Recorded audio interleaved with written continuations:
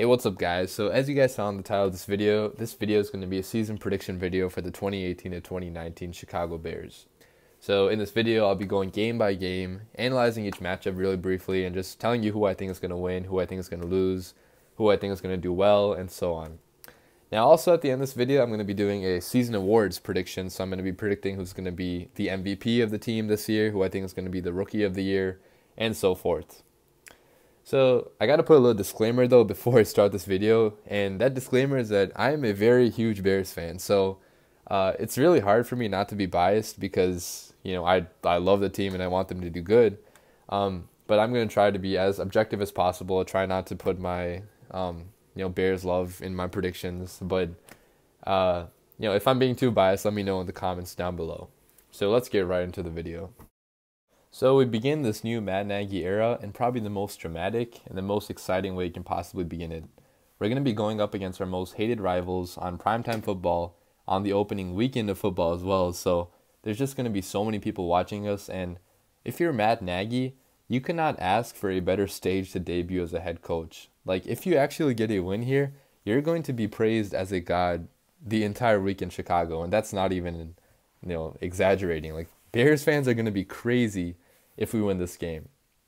Now, as a Bears fan, I cannot express how excited I am for this game because I don't remember a time where we've added so many people all at once. And this game is going to be the showcase for all these new people. Like, you know, if any of you guys play Madden, this game is going to be like those times in Madden where you just save up all your coins and buy a whole bunch of players all at once. Like, who should I be excited for in this game? Should I be excited for Allen Robinson? Should I be excited for Anthony Miller? Should I be excited for Roquan Smith if he plays, if his contract situation gets resolved. Hopefully it will. But there's just too many people to be excited for, and that's why I'm just looking forward to this game, you know, so much. And September 9th needs to get here, you know, really fast. Okay, but let's analyze this game from a football perspective and just looking only at the you know the roster of the Packers and the Bears, when you analyze each position, analyze you know the depth at each position, analyze the quality of the talent, um, I really feel like the Bears overall have a better roster than the Packers. Now, obviously, Packers fans are gonna come at me in the comment section, you know, raging, but they're gonna see week one that we are not that far behind. In fact, I feel like our roster is actually better overall you know, than their roster. And the reason I say this is because, you know, just go position by position. The only position where the Packers really dominate us is at quarterback. And that's only because Aaron Rodgers is probably the greatest, one of the greatest quarterbacks of all time. And we have a really young, really raw quarterback and is only in his second year of, of playing in the NFL. So that's understandable. But if you look at every other position, like on offense, for example, I feel like the Bears receivers are better than the Packers. I feel like our running backs are way better than the Packers. Um, our tight ends and our O line is comparable at least. And, you know, when you look at defense, though, that's where you see a huge gap between us and the Packers. The Packers had a 22nd ranked defense last year, and we had a top 10 defense. We had the 10th overall defense. Now, we kept the same people. We kept we have continuity, you know, for next year. While the Packers, they have made over a lot of their defense. They have completely new, you know, starting cornerbacks. They have rookies starting at cornerback, which is not usually a good thing because they don't really know, you know, all the ins and outs of the NFL yet. So, you know, our defense is I feel like way better than the Packers. Like our linebacker play is way better. Our safeties are way better. And you know, our defense is just, you know, over the top. Now, taking all this into consideration, we're still playing in Lambeau Field, so it's going to be an extremely tough game, even if we have an overall better roster than the Packers. And we still got to remember that Aaron Rodgers can always, you know, take the Packers um, over the top in any situation, really. But I feel like we're going to win this game. Like, it's going to be, everyone is going to be so pumped up. The Packers will not have film of us yet and we're going to catch them by surprise. We're going to go in there. We're going to win game one to start the season 1 and 0. So we move on to week two against the Seattle Seahawks, which is going to be another primetime game, Monday Night Football. So, you know, Matt Nagy has another opportunity to showcase his his new team um, under, you know, the, the bright lights. And, you know, I feel like the crowd is going to be going insane for this game. It's going to be our home opener, and if we actually beat the Packers, like I'm predicting in Week One, uh, you already know the crowd is going to be going insane. Um, so, you know, analyzing this game, I really feel like again the Bears have the better overall roster. Um, you know, the Legion of Boom is no more. Like the Seahawks do not have any of the, really any of the you know players that made the Legion of Boom what it was, and their O line is very suspect. Uh, their running game, you know, they added a good running back. I'm blanking on his name right now. Um, in the draft, but you know, I feel like Russell Wilson is going to get killed behind that O line. The defense isn't going to really be able to stop us, and I have us pulling another, pulling out another victory here, back to back victories, um, to start out two and zero. Oh. So we're going to move on to Week Three against the Arizona Cardinals and the Mike Glennon revenge game. No, I'm just kidding. But uh, I think this game, um, we're gonna see Josh Rosen, like, cause obviously you know Sam Bradford. I think he's gonna start the season, but you can never count on him being healthy. So I think at this point, Josh Rosen is gonna be starting, and we're gonna face off against him against a rookie quarterback. And as we as Bears fans saw last year, you know, rookie quarterbacks make a lot of mistakes. So I feel like our defense is really gonna feast on Josh Rosen's mistakes this game. We're gonna force some turnovers, and you know, um, I feel like this is also a game where our offense is actually gonna you know take some life. Um, even though I have us winning the first two games, I feel like it's gonna be because of our defense that we're gonna win our first two games. But I feel like this game is actually gonna be won by our offense, and we're gonna finally start to gel, and we're actually gonna start the season three and zero, oh, believe it or not. So we go to week four against the Tampa Bay Buccaneers, and we've had some struggles against the Tampa Bay Buccaneers in recent years. Like you go to last year, years prior, um, this Buccaneers game has not been good to us, and I'm actually thinking that will continue here. And that's partly because I have a starting 3 and 0, so I can't just have a starting 4 and 0. That seems kind of unrealistic. But this is also going to be Jameis Winston's first game back from his suspension, so the team is probably going to be a little bit more fired up. Um, you know, they've they've added a lot of people to their D line. They've added talent at you know pass rusher, whatever. And I feel like they're going to pull out a win here. We're going to be, you know, a little bit maybe too arrogant at this point because we're three and zero oh and we don't really know how that feels. So this game is going to take us back down to earth, and it's not going to be a bad loss, but I feel like we're going to lose this game and we're going to uh, go down to three and one. Week five, we have a bye, which kind of sucks because that's a super early bye, and you know it's not a good time to. Um, I'd rather have it later in the season, but it's whatever.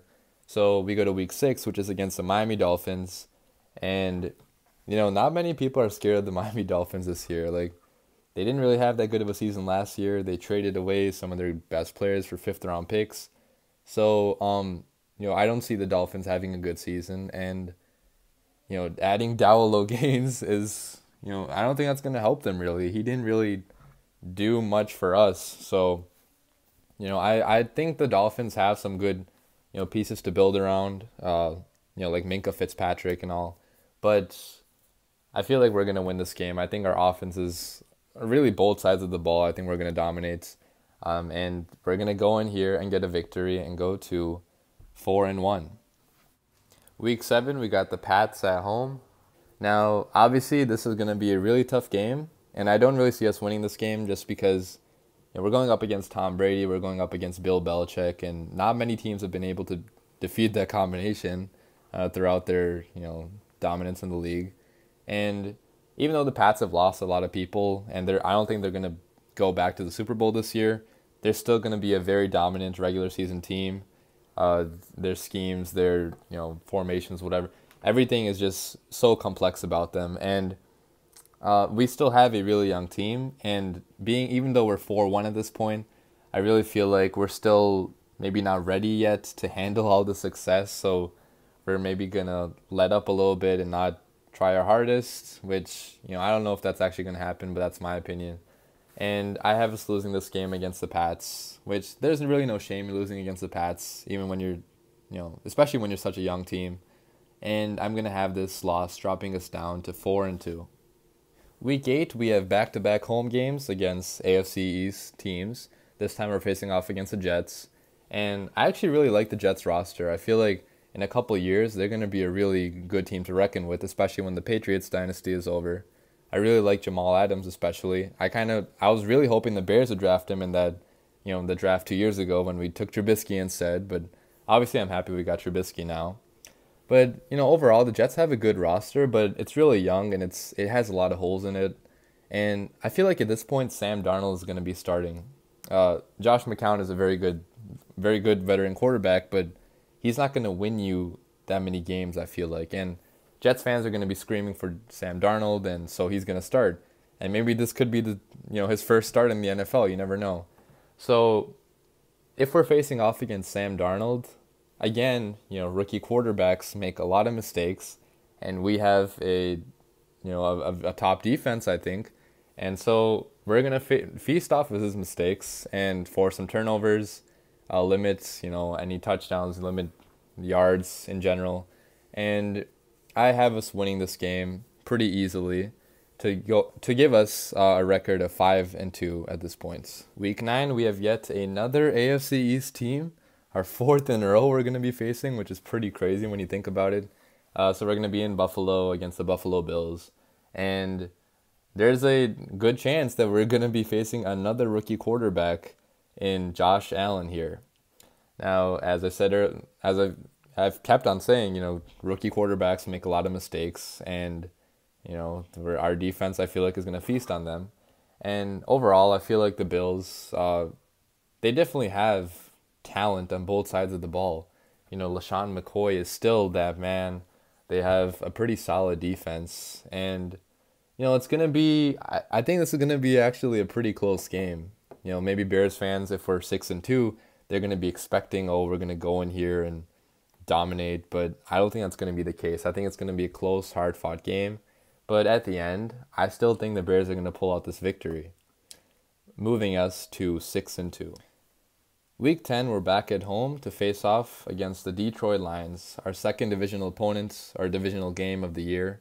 And it's going to be our first against these new look uh, Matt Patricia led Lions. So we've struggled against the Lions in recent years, but to be honest, you know, we've struggled against every single divisional opponent in recent years, so that's not really saying much. But you know, I don't really know like what Matt Patricia is gonna be like as a head coach. To be honest, I really thought that there were better options out there for the Lions to hire, but you know, we'll see how it works out. It could end up working out, could not end up working out. But this is definitely a roster that's capable of making the playoffs. You know, they have established veterans on both sides of the ball. Their defense is pretty solid. They have a really good passing attack.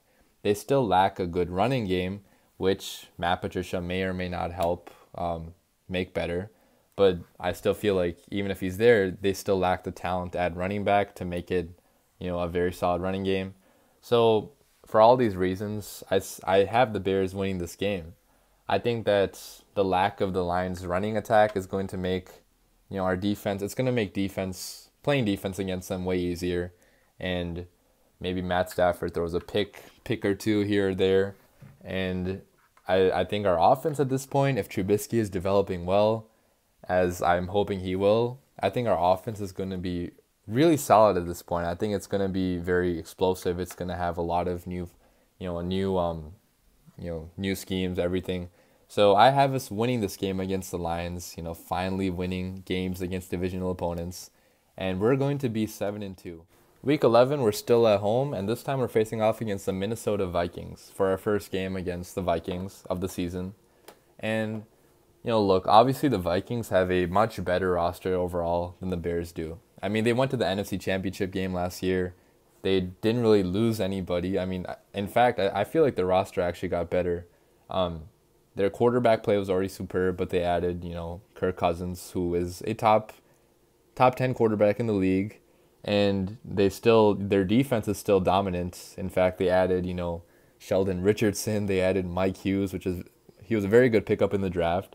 So, overall, I feel like this Vikings roster is probably one of the best in the NFL on paper that is. Now, it could be it could go wrong, you know, if the Kirk Cousins experiment doesn't work out, which I hope that happens, but it's not looking likely. I think it's it's going to be a good fit. So, I have the Vikings winning this game. I think they're they're ahead of us at this point. Like we're still a very young team. They're full of veterans. They're ready to win now. So I have the Vikings winning this probably in dominant fashion, and we're going to drop down to seven and three. Week twelve, we're back at it again with the Lions. This time in Detroit, and this is going to be the Thanksgiving game, which I am really pumped for. Like I'm just surprised that you know the Bears are getting all these primetime games now. When last year, obviously, we didn't have anyone.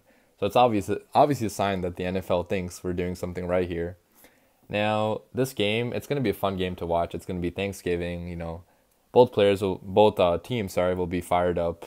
And uh, look, we, I already had us winning our first game against the Lions, and I don't think we're going to be winning more than one game against each team in this division, just because the teams are so good. Like the Packers are a good team, the Lions are a very good team, the Vikings are an extremely good team so, you know, I have us losing this game in Detroit. It's going to be a tough one. It's probably going to be a close loss, but I still have us losing this to sadly give us a Turkey Day L.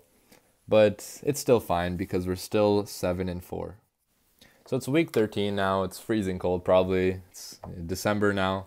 And, you know, we're 7 and 4 and now we go off to face the New York Giants. Now, the Giants are they're kind of a strange team right now because I feel like they're trying to win now, but I don't think they have all the pieces necessary to win now. I think their quarterback play is not going to be uh, as good anymore. I think Eli Manning is on a decline. You know, they added Saquon Barkley in the draft, who he's pro. I think he's going to easily be rookie of the year. He's going to get so many touches. He's going to be, you know, very electrifying. He's one of the best players I've ever seen come out of the draft. So it's going to be really tough to game plan for him.